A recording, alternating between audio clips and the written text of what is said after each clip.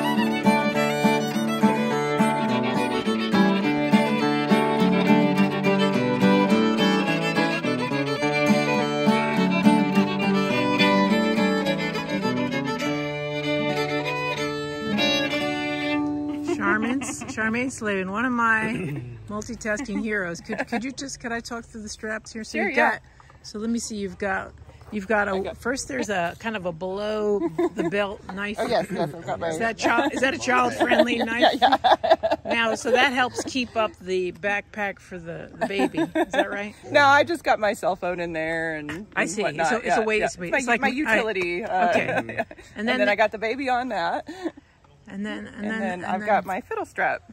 and, and then the strap is what like a cloth that you put around the bout Yeah. of the fiddle. Yeah, and then so it a lot of people have asked me about my fiddle strap because they are looking for solutions. But it's Oh, just right. a, it's just a circle, and the circle goes over my bowing arm, behind my neck, So it's and then it makes a little the loop over arm my shoulder, and. I just stick the end of the fiddle All right. in there. So it just takes the weight off my wrist. I can let go of the fiddle if Very I need nice. to, and yeah, it works for me. Excellent. Yeah. That's all. That's all the strap. All right. Yeah, And then you like to uh, walk, and that keeps the movement, keeps the baby it keeps keeps him happy. Yeah, yeah, Yeah. he's getting close to nap time, so it's good, Yeah. good for him to move Excellent. around a little Excellent. bit. It lulls him to sleep. Multitasking hero.